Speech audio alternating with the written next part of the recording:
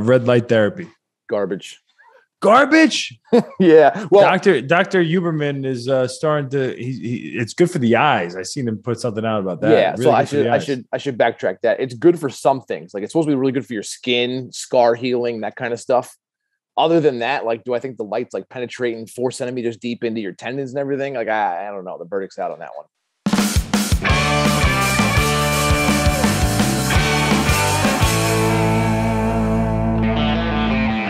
What's going on, guys? This is Chris Weidman. I appreciate you guys checking out my channel and the latest episode of my podcast, Won't Back Down. I have a great show planned for today, but before we begin, I want to tell you about my show's presenting sponsor, BioXcellerator. BioXcellerator is the world leader in stem cell therapy and regenerative medical research. Through the use of their powerful golden stem cells, they help patients heal from joint and orthopedic injuries, autoimmune disorders, spine and disc damage, and neurological trauma. I went down to Medellin, Colombia, and I got my stem cells, and honestly, I feel great. My leg is improving every single day, and it takes about six months to get full effect from the stem cells, and I'm really excited to see uh, what happens in the future. Uh, thanks again to BioXcellerator for helping sponsor this show and create my show, Won't Back Down, which is also available on Spotify or wherever you get your podcasts. All right, here with my guy, Jonathan Amato, the physical therapist to the stars, aka Chris Weidman, and also some others like Kevin James and uh, Aljamain Sterling, and and I'm not going to go through the whole damn list because I know I'm going to miss everybody. Yeah, it's a Uh, pretty big a lot list. of important people, but you got a lot. You got a big list of, of people. Yeah. Um, I appreciate you doing the show, man. Yeah. Appreciate having me on, man. No problem. No problem. Um, so let's start with how did you? What made you even get into physical therapy in the first uh, first place? Uh, it's a sort of long story, but um, it was like a natural progression, kind of like my whole life. Um, I've always been involved in like sports and health and fitness and that kind of stuff. Um, I was a phys ed teacher first.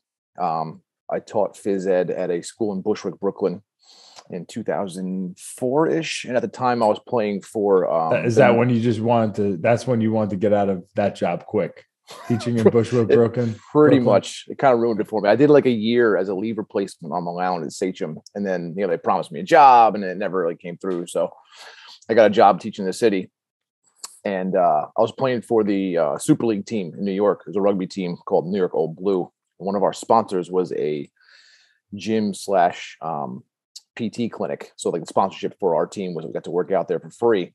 Know I was there like every day after school, like two thirty, and uh, the owner one day you know, he's like, you know, what do you do for a living? I know rugby doesn't pay you all that well, which, you know, it didn't. It was the equivalent of pro back then, but we didn't get paid. And uh, he's like, you seem like you know what you're doing. Why don't you take your CSCS for your training license and then, you know, come work for me part time? So I did. I was his aide. Um, like what is the CSC? What is C? What is it? CSCS? You said. Yeah, CSCS. That that is a, uh, it's certified strength and conditioning specialist. Okay. um, through the National Strength and Conditioning Association. So there's there's probably three main governing bodies that um, certify strength and conditioning specialists and personal trainers. So you have like you have NASM, the National Academy of Sports Medicine. You have the NSCA, then like there's like the IF ISSA, and then there's like 30 other like smaller ones, but those are the kind of the top three. So you know, I took that licensing exam, I passed it, started working for him part time, and within like three months of working as a therapist aide, I was like, yeah, I'm I'm quitting teaching. So I quit teaching. I was working as the uh, the owner, this guy Gary Guerrero for the U.S. Athletic Training Center in Midtown. He was probably, if not the best, one of the best therapists in New York. Very hands on. You know, we had a lot of like high profile clients, that kind of stuff. So I was his aide one on one for about four or five years, and then in the afternoon, I was a personal trainer there. So after doing that for like six years, I was kind of like, well, I want to open up my own place um, I liked the kind of business model they had. It was like a, a, a gym slash physical therapy clinic, kind of revolving door referral program. If people came in to use the gym and they got hurt, they went right to the physical therapy. And if people came in physical therapy, they got like a, a discounted membership to the gym. So I was like, oh, I kind of want to do that. But the only option I had there was to either go to business with somebody else who was a physical therapist and I'd be the kind of gym side of things, you know, and gyms kind of open and fail daily. Or the option was go back to school and get my doctorate become PT. So I did that. I took like a year and a half prereqs that I missed from being a phys ed major, and then it was three and a half years of my uh, doctoral program, and here I am. That's brutal. How? I mean, what was what was that like going back to school? Um, you know, while you're probably older, how old were you at this point when you yeah, started? I, uh, I was just about to turn 30. So I was about 30 years old when I started. Um, the prereqs, I was like 28, 29, taking the prereqs. And then I finished PT school at 33. And what were you doing for money at that time? You you just kept working for that guy. yeah, personal training. Um, you know, I was able to make kind of make my own hours for the most part. I had probably 12 some odd clients around about throughout the day. So I was lucky because I went to Mercy College in Dobbs Ferry and it was a full-time weekend program. So it was school was Friday night from six to nine, Saturday from 8 a.m. to 5 p.m. and Sunday eight to five. So during the week, I was able to do a lot of work, personal training. I would study in between clients, that kind of stuff. I, ki- quit playing rugby at that time. So I kind of retired from playing rugby. So I had a little bit more free time. And what was the deal with the rugby uh, stuff? Obviously, here in, in, the U.S., rugby's not very big. Yeah, it's Uh, not, so- it's getting some steam now. How'd you get into that? you know, I, in college, I went to SUNY Cortland. You know, in high school, I played um, football and I wrestled. And I got to college and I was done cutting weight. Like I, I went on the the Cortland, like the the club team for a little bit, and I was just like, yeah, I'm not cutting weight anymore. And Yeah. I, I tried out for the football team. And in high school, I went to West Hampton Beach High School here on Long Island, and we played like Ironman football. Like I played every position, every you know special teams, offense, defense. We had like you know 22 guys in the whole team, and I played center and D end at like 215 pounds. So I got to Cortland and I wanted to go walk on. And they're like, oh, what position do you play? I was like, um, I'm D end. Like, what do you weigh? I'm like, I'm like 215. They're like, that guy's our D end. And he was like 298 pounds. He was massive. yeah. And, uh, you know, I did, a, you know, I tried out and I did okay with the weight testing, but they, they wanted red shirt me. And I was like, you know, this isn't Notre Dame. I'm not going to get, I'm not going to be a tackle dummy for a D3 school. yeah. So uh, some other guy got cut at the same time, and he's like, "Have you ever heard of rugby?" I'm like, "No." He's like, "There's a rugby team on campus. It's like football without pads." I was like, hey, "All right, I'll try it." And it just seemed to click. Like uh, you know, within the first season, I kind of just picked it up real fast. I became the the team captain. I was the president of the club. We made the Northeast All Star game. Um, we we won the Northeast, um, the Division Three Northeast Championship my uh, senior year, and then I tore my ACL and I had to have surgery. So after my senior year, I had surgery. And then I kind of got the opportunity to play for the Super League side when I moved to the city, um, which is like at the time it was the highest level rugby there was here in the U.S. We didn't have a like a pro league, so it was like the feeder league for the the national team. Gotcha. And, uh, played for them for like eight years. It was great, man. I got to play in Australia for a year. I played over the country. Like you know, our team played. Um, there was nine other Super League teams in the U.S. So there was like L.A., San Diego, there was Denver, Colorado, Boston. There was uh, Charlotte, North Carolina t- outside. There was um, Chicago. So we got to play all over the place, and our travel and, and our, our our stay was paid for. So we didn't have to pay for that out of pocket. But you know, we didn't get paid to play. Yeah. So um, obviously, me being an athlete and uh, being a being around physical therapists um, since I'm a little kid, basically at this point, it's never stopped for me. They're they're kind of a dime a dozen, you know, depending on where you go. It's it's it's very rare, I think, that you find a good physical therapist, and you are a very good physical therapist. Oh, I appreciate What- that, man. Thank you. What? Uh, where did like? Why do you think you're a good physical therapist?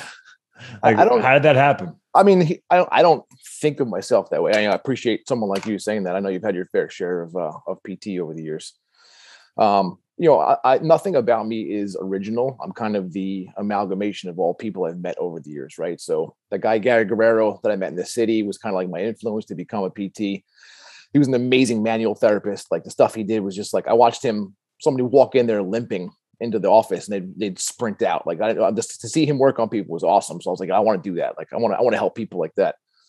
And then, you know, so I over the years of watching him and kind of being his his aide and his backup and everything, and then going through school. And then my last rotation, I got to work with my now colleague um, and boss, Mike Camp, who's another amazing manual physical therapist and everything. So I learned more stuff from him. So this is the only type of PT I know. Which boss was better between them two? uh, I plead the fifth. oh, I'm looking at him in the eyes. I, I can tell right now what he's thinking. Uh, I plead the fifth. I won't answer that one. They were both they're both like instrumental. You know, I like working with Mike now. Obviously, we, we bounce a lot of ideas off each other, and um, so it's really good. Yeah. So this is like the only style of physical therapy I know. And even you know, when I had physical therapy for my ACL, it was kind of the same sort of thing. So when I hear horror stories of people that go into like a mill type place and it's just everybody gets a hot pack, everybody gets stim, everybody gets the same four exercises, whether you have an ankle sprain or a knee problem. I was just, I'm like, how is that possible? Like, I've, I've never even, I never thought that there was anything other than what I do. Um, Yeah. So I feel like a lot of physical therapists, uh, once they get out of physical therapy school, they take what they learn there, they open up their practice, they take a loan out or whatever, and they just do what they learn in school and they don't continue to learn. They're not working on professional development development as much as they really should. yeah, and if they do, they probably mail it in because you know we have to every three years we have to take a certain amount of continuing ed courses.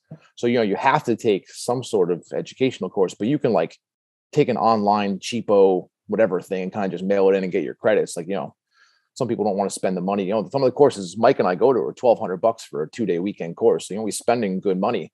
Yeah. Um, and actually, some of the stuff that we take doesn't even count towards PT CEUs. So we're just taking it because we want to learn it. So yeah. a lot of the manual stuff I do with you, the joint pumping and the fascial normalization, that's not normal physical therapy. Mike and I learned that from this French osteopath, Guy Voyer. So a lot of our manual isn't even you wouldn't see anywhere else in the country because PTs just Yeah. don't do what we do. I mean, I, want to go. I want to. I want. I. I. I know you've seen the Christian McCaffrey podcast where we went through the Yeah. uh, all the different modalities, physical therapy modalities, and we did Yep. this, whether it's crap or not. um, are you ready for this? I want to. Yeah. I want to Yeah, ask you the same questions as a professional on the other side of being an athlete as the physical therapist, and what you honestly think is good and not good, and I don't know if it's a uh, conflict of interest because like insurance pays, you know, a certain amount of money for different modalities, right? Like I would, I would assume like, you know, ultrasound, you might just do some physical, physical therapists might just do because, all right, this is going to be an extra 30 bucks, you know, whatever and, it And sadly, that's that's what it is. You know, the insurance companies kind of dictate what you're doing by what you're able to get paid for. Um, we're a little lucky insofar as half of what we do is cash based, so people pay the us, you know, the cash, and then we can kind of do whatever we feel is necessary. And then the other That half is a freaking problem, bro. Because I think Yeah. for me, as an athlete, 100%, like you need more time with a physical therapist than what the Mhm. insurance is willing to pay. And you need more out of them than what the, the insurance is going to allow you to get as far as modality wise. yeah, yeah, and sure. uh, and so does everybody, you know. But it's just the way physical therapists get paid by the insurance companies is terrible. It is, and honestly, it's it's it's kind of highway robbery. You know, like I have a hundred and something k in student loan debt to the federal government, all this sort of stuff, and um, over the last ten years, the reimbursement rate for physical therapy has gone down, whereas the cost of living, just in general, for everybody else in the population, has gone up. You know, probably threefold, fourfold. So, you know, being an in-network provider, it kind of limits you to what you're able to do for people. And like you've seen, you know, they have to see these therapists have to see four, six, eight patients an hour in order to just to pay the bills.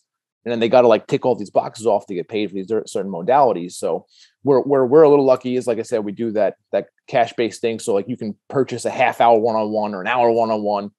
And then we're also contracted with our insurance companies. So like they're going to pay us the same amount no matter what we do. So i could do stim this blah, we're still getting paid 60 bucks. This doesn't really matter. So it kind of gives us a little bit more freedom Is not But- is that not exactly what's like traditional in most? It's um, not. Yeah, most most people do a la carte billing. So you know they'll do a unit of stim for twelve bucks, and a unit of ultrasound for eight bucks, and a unit of exercise for twenty bucks, and let's try to tack as many things on as they can. Gotcha. All right, let's go through this. Um, Sure. and and with you, I'm going to spend a little bit more time, I think, with with with some of them. Um, ultrasound, Garbage. complete garbage, no matter where. Garbage. It's been shown through multiple research studies now that it does literally nothing for most injuries except for um, like lateral epicondylitis or tennis elbow or golfer's elbow, and maybe like Achilles tendonitis. But everything else, like you've used it for in the past, like sprained ankles, it does nothing. All right, you heard Yeah. it here. Ultrasound is crap. um, ice baths. Love it.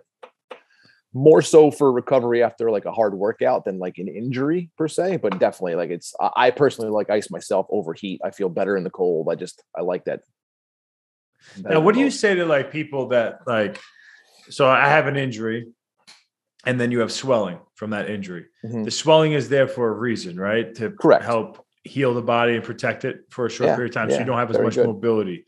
Yep. So when you put ice on it to make it feel better, uh, numbing it, and you know, hopefully taking down inflammation if that's even true. Mhm. Why would you want to get rid of inflammation if it's something that's actually going to make you better? Well, that's a good- that's a good question. Um, a small amount of inflammation is good. Like, you know, you roll your ankle and it, it gets a little puffy. That's actually really good. Your, your body's natural healing factors. It's growth hormone, it's insulin. So it's would you not hit that? Then do you not hit that with ice? I would not. Bad.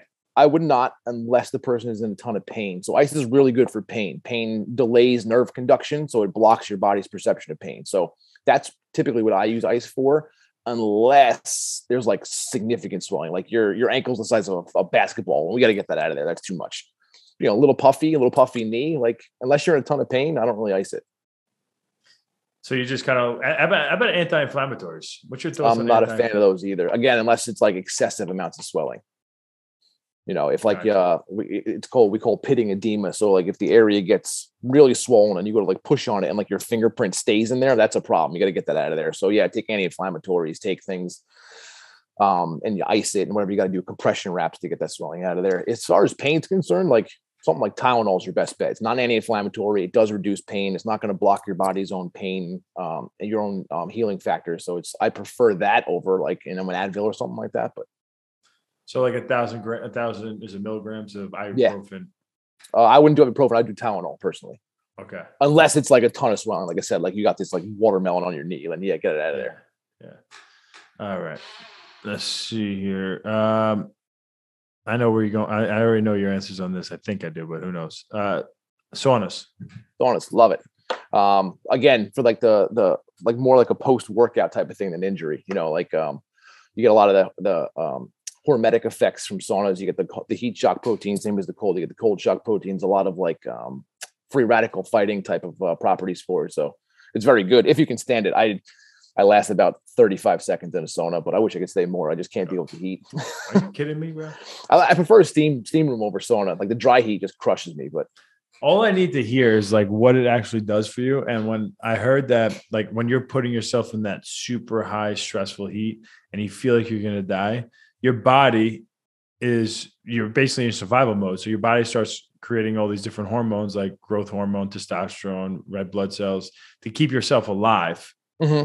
And then if you so if you're able to withhold your eh, eh, withhold yourself inside that for a little bit of time, you get to walk outside that sauna with those extra hormones yeah, and you feel like healing everything bucks. a little Yeah. bit faster. With that, I like contrast bath then. So I'll do like two minutes in the hot tub or sauna, and then I'll go to the cool the cold plunge for two and back and forth. But that Gotcha. smokes you. Like if you do that for like eight, 10 minutes, like you better have nothing else on your plate for the rest of the day because you're just smoked after that. Yeah, yeah, I agree. Um, stim.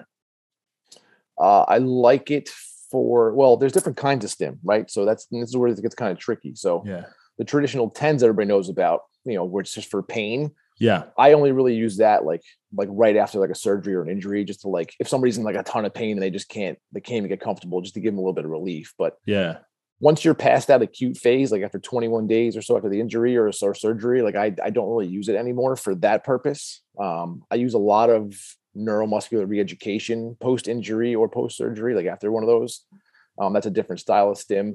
Um, and then you know, like like neural neural reeducation is probably the biggest one I use it for. Um, so like like with you, like when your your your quad was atrophied from being like non weight bearing for a while, like doing that Russian style or the neural re-ed is huge for getting that contraction back in that quad. Yeah. So I'll use that until I get it. About uh massage? Love it. I mean, you know me, like manual for me is all everything I do, and massage is like a, a portion of it. But yeah, like massage is great. Like going to a masseuse who specializes in massages. What's the benefit of that? Uh, I think it's more for again post workout, flushing out all like the the metabolic waste from training. You know, if the if there's a knot in there, getting it to calm down a little bit, so you get normal contractility of the muscle, right? So if if you have a trigger point or a knot in that muscle, it can't lengthen or shorten as much as it should, which is going to impede your performance days after. So if you can get that to kind of calm down and make sure that, that muscle has as, as much pliability and mobility as it should, and I think it, I think it's great. Gotcha. Um, dry needling.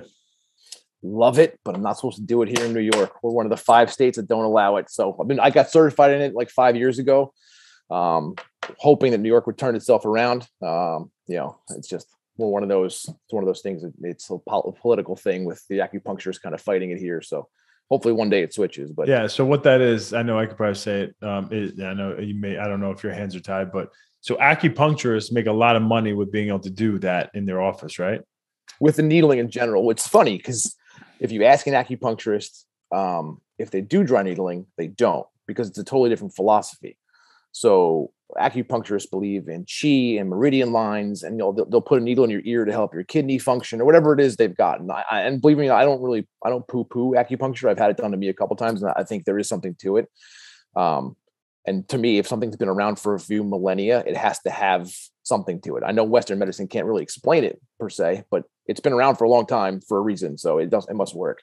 Yeah. Their philosophy is different. Dry needling is it was born out of trigger point needling. So people that would get like trigger point injections for a knot and that kind of thing, they found that just by inserting the needle without injecting any kind of fluid, you got this twitch response in the muscle, which relaxed the trigger point. So dry yeah. needling was born out of that. So it was it's a bit different philosophy, but yeah, most acupuncturists don't even do it. So the fact that they fight it to me is a little silly, but I, I mean, so they don't want physical therapists to do it because it would take some clients away from it. Is that kind yeah. of the, the yeah, pretty much. That? Gotcha. Yeah. Is is there other states besides New York that it's illegal in? Yeah, California, um, New York, uh, New Jersey allowed it, which is where I took the course in to get certified, and now they revoked it from their physical therapists. Um, Hawaii doesn't allow it, and there's like one other, but like 45 to 50 states say PTs can do it. The American Physical Therapy Association says PTs can do it. The Federation of State Boards says PTs can do it. But for whatever reason, New York State decided it's not within our scope of practice. Sounds like every every state that has these crazy vaccine mandate laws are the same states that don't let yeah, happen. So, sounds a lot like it, doesn't what it? What are they doing? Is it about the money? Uh, it's got to be. You know, it's somebody's pocket didn't get lined. So you know, I was like, who do I have to? You know, I'll take a petition. I'll collect twenty grand. Whose pocket do I got to put this in? Like, let me do it. Come on. Yeah, it's freaking ridiculous. Uh, hey, adjustments. So getting getting your neck adjusted. Okay, um, has its place. Um, again, you know, physical therapist's version of it is a little bit different than chiropractors. Um, you know, chiropractors believe in what's called the subluxation theory. So by manipulating your thoracic vertebrae, we can make your knee feel better, and by manipulating this vertebrae, we might make your liver function better. Physical therapy, it's well. Do you, you believe in that at all? No, I don't. Um, uh, to me, it's you know if you can't turn your head to the left because one of the facet joints is locked up, I'll try to manipulate it so that it moves properly and, and restore your motion.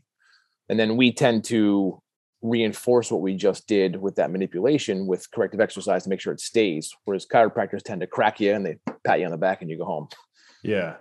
So when you when you crack a neck, it's what is it? Just air bubbles inside your neck that are like being dispersed when yeah, it's, it it's gets moved the, the cracking is called a cavitation, which is the sound of a gas exchange in the joint.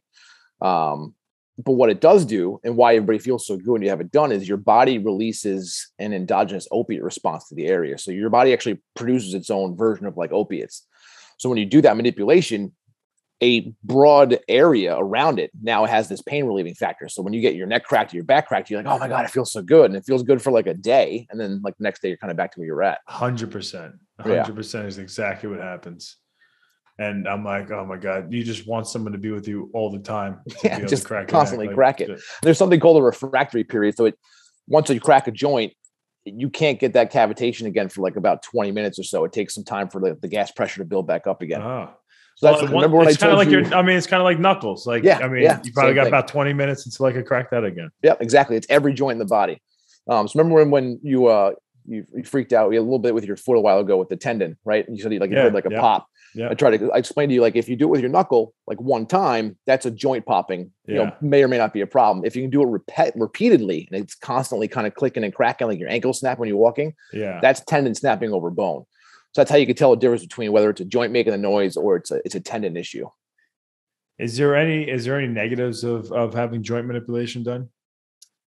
I don't think so. Uh, you know, some people would argue that there is that maybe it makes the ligaments around the joint a little more lax, therefore, like there's less stability in the joint. But um, as far as like causing arthritis, that's been proven to be not true. So it makes sense because when you have a stiff neck, you're locked up, so everything's very tight. So if you want to keep it that way, just don't adjust. Yeah, pretty much.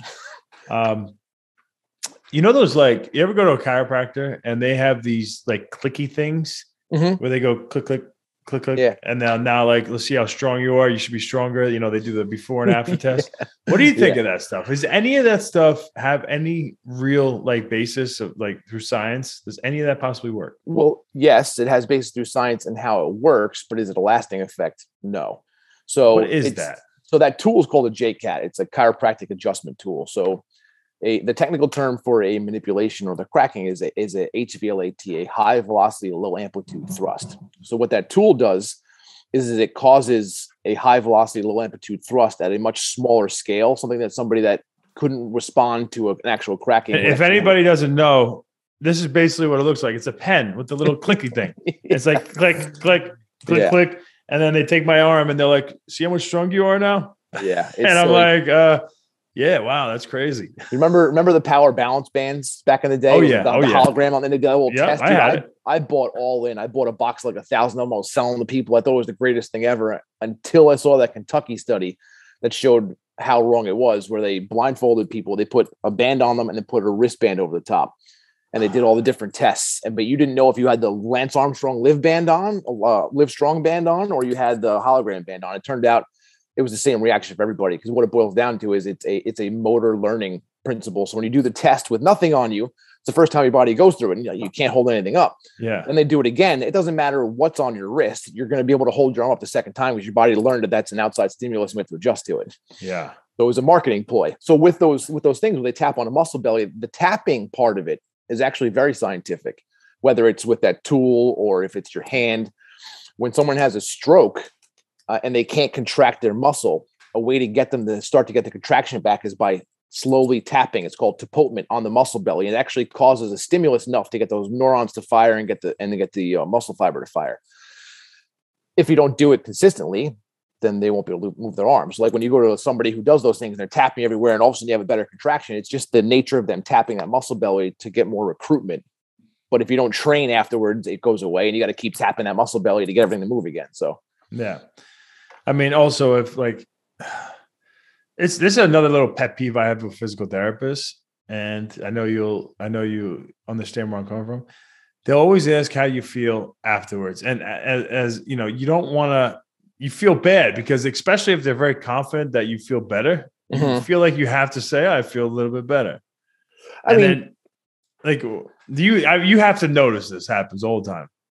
Yeah, yeah, and, and I, at least like I appreciate when when you and I work together. You're like, nah, I don't feel any different, and I but it's yeah, I need that, and the, and the, there's a reason why we ask that. It's because it's a test retest kind of principle, right? So like I I I assume I hypothesize that this thing is going to make you feel a little bit better, so I ask you, and if it didn't, then I have to adjust and and do something different or, or modify what I'm doing.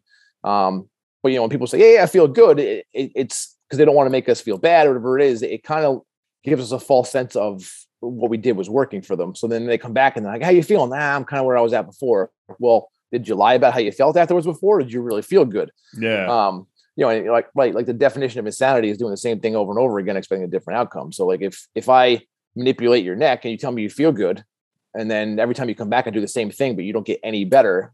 So it's kind of like a, a lose lose for both of us because you didn't want to make me feel bad about it, but I didn't adjust my treatment to actually make you feel any better.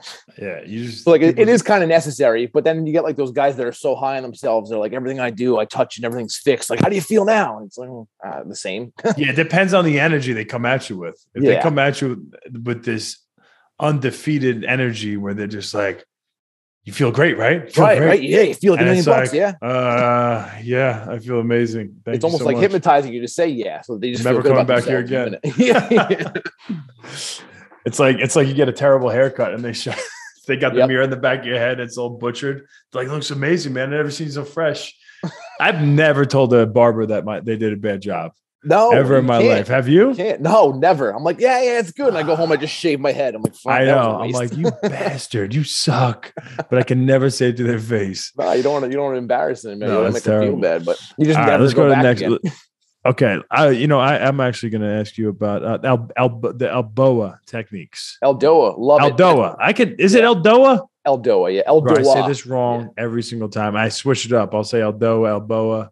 I- I yeah, don't know. it's Eldoa, created Eldoa. by that same French osteopath that I take those courses from. Guy Oh, get Voyer outta here, okay. created Eldoa. Yeah, um, it's fascial stretching, fascial normalization. It's it's it's hard. Like if you do it right, like it's it is not easy to do. Is it? Is this part of it? This one where you come up and then you come down and you twist your arms and then Yeah, that that's one of the motions. Um, when you would do that, you would actually probably be sitting with your feet out in front of you, so you're trying to get a complete dural stretch for like all that um, fascia up the spine and everything. Yeah. So when I'm doing like this, I'm trying to stretch the nerves out as far as I can, let the fingertips come up, Mm-hmm. and then I'm doing. I'm just turning my head back and forth. And you're rotating because then what that's doing is it's actually flossing the nerves in their in their path in their channel. It's getting the fascia to move a certain way. Yeah. So it's very specific as to like where to lock out your joints and where to move and how to move. And you know, I've taken a couple courses on it. Um, and I personally can't do it because I'm so damn tight. So I just get frustrated. But You I can't do do, feel- that. You can't do it. nah, man, I can't like half Which the part- stuff. you is it the one when you have your feet on the wall that and you're one's trying to get hard. your lower? What's that? Yeah. Well, That one's super hard for me. Try to get your butt against the wall, your legs flat against the wall, your low back flat against the wall. Yes. You bring your hands up behind you. You externally rotate the arms. Yeah. Like I, I just feel everything's on fire, which probably means I need to do it. But I just, Now, how long? How long would you hold that stretch for? I, so I think it varies, uh, but it, is longer than most people think. It's got to be at least forty-five seconds, to like a minute and a half. Like it's not like a quick little 10 second. Oh yeah, movement. that's that's a pain. Yeah. Yeah, that's a hard. work. That's a workout. that- you're sweating after that. when you're just stretching yourself out, I mean, people at home could give it a shot. Like it's crazy, but you do feel. I've done it a few times, and I and I do want to actually get on uh, a protocol with doing it the right way Yeah, because I do think with my neck and, and the neck issues I've had, it's worth trying to stretch Absolutely. this out and getting the nerves moving better. You know, and even like the so there's the thing called the dura mater that's like in your you know your spinal column that like lines the spinal cord that's got to have adhesions all over from the surgeries you've had and everything else like and this is meant to like get all that moving again and make sure that the fluid moves properly and all right, hyperbaric chambers. love it really good for healing you know wound care um anything else that's like that needs to heal in your body it's amazing Uh, red light therapy. garbage Garbage. yeah well Doctor Doctor Huberman is uh, starting to. He, he, it's good for the eyes. I seen him put something out about that. yeah, Really so I good for the should I should I should backtrack that. It's good for some things. Like it's supposed to be really good for your skin, scar healing, that kind of stuff. Other than that, like, do I think the light's like penetrating four centimeters deep into your tendons and everything? Like, I, I don't know. The verdict's out on that one. Gotcha. But like, definitely scar therapy, like that kind of stuff. like, Energy, good maybe for extra energy. Maybe Uh, you know, they claim that it's you know increasing red blood cell production and like getting the mitochondria firing. I hope Um, Ray Longo listens to this because he thinks red light therapy is an everyday thing for him. He does it every single night, and what he thinks it Well, does the guy's for him, skin's beautiful. I mean, it must be working. Look at the guy. He looks like he he's thinks forty something he years thinks it's getting rid of his gray hairs, and it, I and it's stopping him from balding. It may be. I mean, they That is what he's using it for. He literally sits his head up to it for like 20 minutes every single day. they claim it does. So I mean, maybe it does. The guy's got a full head of hair. I mean, I'm bald and he's a little bit older than I am, so maybe it's working for him. I don't know. Yeah, yeah, he's he's definitely had some surgeries done to look that good. There's no way that's natural. I'm just kidding. I I, I can't hate on him. He really does have beautiful hair for and an older skin. guy. I mean, you know, for an older guy, he's not, not a wrinkle on him. You know. He's the Godfather.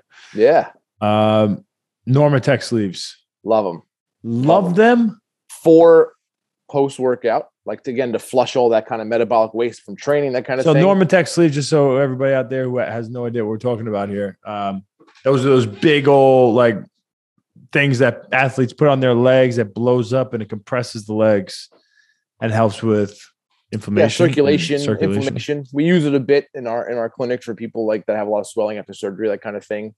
Um, because it does, you know, it, it works on what's called peristaltic compression, right? So it, it squeezes the foot, then the calf. Let's go with the foot, squeezes the knee. Let's go with the knee, squeezes the thigh. So it's kind of like flushing all that stuff, or like you know, the arm, whatever you're working on. So it flushes all towards the lymphatic trunks and gets rid of like a lot of that swelling. So it's definitely very good. All right. Well, I got them. I like them. Uh, I know comp the Compex. I like it for a bunch of things. Yeah. For strengthening, right, and stuff like Yeah. that. Yeah. And that's one of those, it's another type Strong of strong stim. unit, right? Yeah, it's a strong stim unit. You know, gets like for neuromuscular re-education. You know, for like you know working on atrophy or uh, you know lack of contraction. But it's also really good for flushing lactic acid out after like a hard workout. Like it just gets that con- that constant pumping going and it pushes all the kind of crap out of the muscle. Um, how about this? Co- the copper knee pads that you know those copper like Mhm. knee sleeves that people wear. Garbage, Definitely garbage. definitely garbage. Dude, it's like- it's like the hologram. Placebo effect matter. It's like the hol- I mean, yeah, well, yeah, placebo effect. Sure, that's a real documented thing. It definitely works. Yeah. But like you know, it's like the hologram. Do you think that hologram's really like re-energize, you know, energizing your body's natural magnetic balance? I get out of here. Have you looked into the copper band things at all? Like even what they're saying they're doing? Do you? Yeah, I mean they claim like it's you know negatively charging the ions in the body, which is to help with your frequency. Or I mean, I don't know how much I really buy into that. I'm with you on that sh- stuff too. Like the the ion when you start talking about ions and stuff in the body and we're controlling it with things, um, I do sh- I, I do seem to uh, turn my head on that one. I, Yeah. I- it's hard for me to like. Really now the brace it. by itself, it's a good compression brace, and it, you know kind of holds the joint feeling. So maybe it just makes you feel good because it's like really tight around the joint. But, you know, is it is it really doing anything other than like a So- regular neoprene sleeve? Like, like a guy who has a guy who has arthritis in his knee. He's 55, 60 years old. Um, what what would you say is the best thing for him to do? move. It He's not getting surgery. Not Nope. getting surgery. His knees just got arthritis. move. Uh, it's the best thing. Keep for keep moving. keep moving with low impact, right? So whether it's like riding a bike or just like easy walking, you got to keep that fluid in the joint constantly moving. So it seems counterintuitive, right? Like you have arthritis, it hurts to move. You're like, I shouldn't move. The problem though is that by not moving, you're trapping some of that older fluid in there, and it's it's getting kind of like gunked up. It's like it's not as like um, vibrant as it should be. So you moving the joint flushes the old crappy fluid out like an oil change, puts the new fluid in, keeps the joint lubricated, that fluid actually is nutrition for the joint too. So it keeps the the the health the joint kind of vibrant. By not moving, you're just basically making everything worse. Yeah.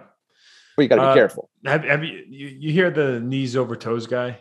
I have, yeah. What, what do you think of him and uh, and what he's doing? Um, I, agree with a lot of its principles. Like, like for some reason, like you know, people think putting your knees over your toes has become like this god awful sin, but it's like, you know, it's a natural occurrence. Like walking down the stairs, your knee, your knees have to go over your toes, otherwise you got to walk down like backwards or like sideways. Like it has to happen. Yeah. where I I fall off a little bit is I you know I don't know much about his background. I think he's like uh an actor or something like that, so he doesn't have any real schooling in this stuff on anatomy and physiology and human pathology and disease processes. So um, I'm a little skeptical, but like I like some of the principles he does for Yeah. sure. Um, Like the like building the front of your leg, the tibialis muscle, the so Mhm. you know that like basically the muscle that long, runs alongside of your shin. yes, Um, he really emphasizes the importance of that. What, what's your thoughts on that? well, he's not wrong. You know, it's it's a it's a muscle that we tend to like let go. Like we just kind of like that's where you get your shin splints when that muscle is too weak and it can't combat the pull from the other side of the leg, which is your calf. So it, it does the opposite movement of the calf muscle. Um, I'd say more often than not, people have a serious weakness in that muscle, and it causes problems with balance later on. It causes problems with everything else. I have Um, terrible weakness there, and I don't know if it's because of uh, motion issues in the ankle. Like just my both my ankles just they're Like, tight, just naturally move. tight. I think they don't move. They're not injured, but they're just tight. And um, so when I first started trying to do those exercises where you sit your back, you ever do that? Those exercises where you put your back up against the wall, standing up, and you put your feet a little bit away from the wall, and you Mhm. try to bring your toes up. Mhm. Yeah. You know, for like sets. I am, and then the next step, once you get strong enough doing that, would be to take one foot off, and that's up in the air, and the other one's just kind of doing it on their own. So all your weight's on one foot doing it. yeah. I literally could barely get my toes off the ground. It's embarrassing. Yeah, I mean, I'm I'm kind of with you on that. Mine, mine isn't as strong as it should be, especially after my neck injury and I had like drop foot and everything. And you know, I didn't do the greatest rehab, so Yeah. like I've that one's pretty weak on me. But it's it's definitely an important muscle, you know. And, and again, he's not wrong with that, you know. So Yeah. I don't know enough about it to really make a complete comment. But if some of the stuff Yeah. I see, like I'm with him on, like you with I'm with him on the fact that you have to have your knees go over your toes at some point in time. You look at like any indigenous population, um, they're they're in that full deep squat position, washing their clothes in the river. Like their knees are over their toes, and they're some of the healthiest joints compared to most of humanity. Um, so Sucks. I'd just be dead by now. My the osteophytes, the osteophytes behind my knee. I can't sit in those positions, bro. Yeah, I can't no even take a dump the old-fashioned way. You know, they just sit in those squatty positions, so relaxed and take dumps. There's no wiping Yeah. needed because it f- just flawlessly flows comes right out of out. their butt cheeks. Just flush. You got to get that squatty potty. It's like the My the- the sister has it, and I was Yeah. so pissed I didn't use it. It was it was by the toilet, and she didn't tell me about it until after I got done taking my dump. I was like, she's like, "Oh, did you use it?" I was like, "Are you freaking kidding me?" After she explained to me, I was so pissed off I didn't get to try it. Dude, they're in like they're in Costco for like uh, two of them for like twenty five bucks. You can get yourself a pair there. Did- Have you been using a squatty potty? I should, but Have I, you I used have one before? I have, yeah. What'd you It think? definitely, it definitely helps. Like you know, instead of like you know, just put your knees up in a good position, so it's everything just kind of comes straight like out. less of, like- wiping. yeah, yeah. My less- sister says like there's no wiping needed. there's That's like it. no need to because like everything, it's just like a straight shot. She said the only reason why um, this hasn't been around for a while is that the toilet paper companies have been have been putting a lot of money towards not letting people know about this. I can see that. You know, I just made that up completely, but I think I can see that. I can see that. it makes sense. You know, think about it like anything else. Like you know, big oil doesn't want the electric cars out there and everything else. Yeah. Like, all right, I, I'd buy into that. I know, I know, I know. I don't. I, I believe in anything at this point. Um, let me move this down. That's going to be the last one.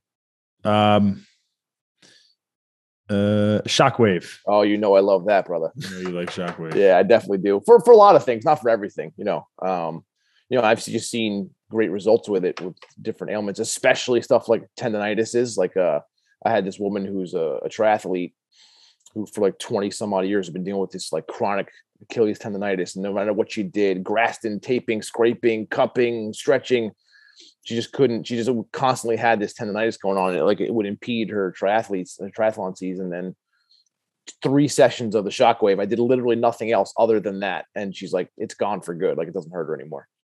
Wow. Um, so you know, I and I've seen that. I mean, you know, I've seen it work immediately. It feels like it works when Yeah. I do it. you know, you like got im- immediate range of motion with it. But, you know, the question is how long Yeah. does that stay? Like, I don't know. I didn't really see you much after that. You went back home after that, but That was a claim is- great set. That was a great session last time Oh, I was in New York. it York. was like we were up there for like two hours, man. We just did everything. We just crushed. I gotta everything. get your ass back. I gotta get you come down to South Carolina to lend Say the free, word, bro. Say the word. I'll come down. We're gonna do that. Um, PRP.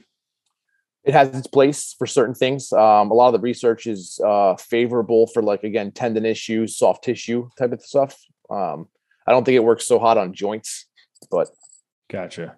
Um, you said hyperbaric chambers you liked, right? And Yep, we just kind of yep. skipped over that. I, I like that. Um, ART, active release therapy. that stands kind of that's like coupled in the whole manual therapy thing for me. So you know, I don't have when I do my manual therapy, I don't just do one thing. I kind of mix ten different things into one session. So I, I like I like most manual therapy techniques. I think is a, is a safe way and to say. it. and and what the nerve gliding one? What's the name for that one? Is there that's a technique, right?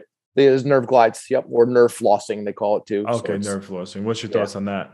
it definitely works. Somebody who's uh well, a like someone like you, combat sports, where you're just like, or even a contact sport in general, where you're just taking like shots different parts of the body. Like you're gonna build up adhesions to different areas. So like by getting that that nerve should be able to move in its channel back and forth. And if it's stuck and it can't move, if there's like a space where there's an adhesion or it's stuck up at a joint somewhere, you- you're gonna get an increased stretch, which is gonna cause like the numbness and tingling. So like it, people that have like radiculopathy like symptoms like from their neck or they have like numbness down the arm the, the flossing or even their leg for like sciatica flossing it plays a huge role in kind of getting it to calm down About cupping. uh, i like it sometimes um, i don't use it in the traditional sense you know the uh, eastern medicine believes bringing like bad blood to the surface and you're decongesting an area and all this sort of stuff. I use it for uh, negative pressure. So say you have like a trigger point on like your trap and like me digging in there is miserable. Like you keep squirming away you push my hand away you want me to stop. So people that can't handle that i use cupping for that where i'll instead of pushing on the the, the area i try to lift the skin and the fascia away from it and maybe that muscle underneath gets a chance to calm down a little bit that's what i use it for Gotcha. Uh, all right. So one one. So you obviously you work with everybody, all different sorts of walk of life. But I feel like at this point you really specialize in the fight worlds. Yeah Like how did how did you did that happen because you wanted to work with fighters or just happened randomly? How did that end up happening? kind of a combo. Um, when I was in school, um, like I said, when I when I was in the city working for that guy Gary, like we had a lot of pro athletes from all different sports.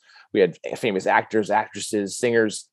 But I knew I was moving back to Long Island, and I know that there's not a whole lot of pro athletes that live on Long Island. But I knew that what? yeah, well, uh, that's where I'm finishing. I know that there's a lot. The fighting is a, is a huge like Long Island seems to be like a microcosm for like great fighters because wrestling is so huge here, right? You have Section mm-hmm. 11 in Suffolk County, you have Section 8 in Nassau, and like it just produces these awesome I miss wrestlers. I miss it. Don't you do this I know, man. I know. Don't I'm, do I'm this gonna, to gonna go get myself an egg sandwich here, and I'm gonna get a slice of pizza and just show you what you're missing, my man. But yeah, so like I know, I know that you know after wrestling, there's nowhere really to go. So we we just produce a ton of combat sports athletes. So I was like, all right, if I want to work with pro athletes, it's gonna have to be them. Um, you know, when I wrestled, and then I started getting into jujitsu shortly after that, and um, so I was like, all right, whatever, whatever can make me more um, appealing to the the fight guys, I'm, I'm gonna do whatever it takes, and and because I was involved in combat sports and everything else, it kind of just it kind of clicked a little bit. And then you know, guys started coming to me, and like other therapists will tell you, well, just don't train this week. Whereas I'm like, well, I understand you. Well, why don't you just stay away from half guard? Why don't you stay away from knee shield? Don't do a butterfly guard this week, and you do everything else. Like, okay, cool. So it just it, I understand the language a bit more where traditional PTs maybe don't. So it just helped me kind of click. And you know, Manji was pushing you on me forever, and then once I started treating you, then other guys were coming, and Al and Aljo, and so it kind of just kind of snowballed from there. Yeah. What do you What do you make of like the fighters like when when a normal person comes up to you and is like wow you work with all these fighters like what's that like what are these what's it like working with these fighters what's your answer to that um i, I like it because you guys are like most of my job is dialing you guys back like like hey why don't you back off of this this week instead of like trying to get you to do one exercise i'm like why don't you cut three of those out this week or like you know take I, I, like i know this was not the case with Villante well, no, he was. The, yeah, no, he was. I'm clipping. I'm going to clip this part. Let's let's just talk trash on him. I'm clipping this and send it to him. It's the only part of my podcast I had, to, listen I had to, to beg Jesus to put socks on for a workout, let alone actually get the workout in. So oh my gosh, bro, we're going to talk about your strength and conditioning, your your your big debut uh, UFC fighter. Listen, his his first fight with me worked. We dropped like 40 pounds. He was the fittest he's ever been as far as cardio. I don't know what happened in that fight, but yeah. Yeah, oh, you but, can't uh, you can't do everything for him. But oh my no. gosh, that last one, what what was he looking like? Oh, I just think I don't think he cared. Yeah, he definitely didn't he care. was just like, oh, I'm gonna collect a paycheck. I'll you know hang out with the boys one more time, and uh, I'll call it a day. I know. All right, let's let's forget about Villante for yeah. now because I'm taking yeah. you off track of you being sincere about fighters in a yeah. positive no, way. so you guys, what I like about you guys is like you're like you don't want to be perfect. You're just make it so I can train tomorrow. Just make it so I can fight Saturday night. You're not like Whereas you get like, you know, um, you know, the soccer mom who's like claims they're dying because they got this little thing in their neck and they just it's ruining their lives. I'm like, you have any? These guys are walking around with broken bones, blood pouring out every pore, like, and then all they want to do is make it so like their shoulder can move an extra two inches today. Like, that's why I like working with the fighters. They're just like a tougher breed of people, and yeah, they don't they know they're not going to be perfect. They just want to make they want me to be able to get them to the point where they just feel a little more comfortable so they can perform properly. So tell me like, they're not. Tell me the fighters aren't just the most humble group of guys too. That was my next thing, honestly. Like the most down to earth. Like there's not a besides besides me, butt.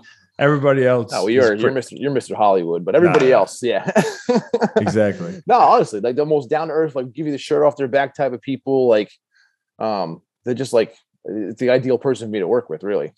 Yeah. How do you how do you uh like juggle these up and coming UFC fighters or MMA fighters where you know they don't really have that much money?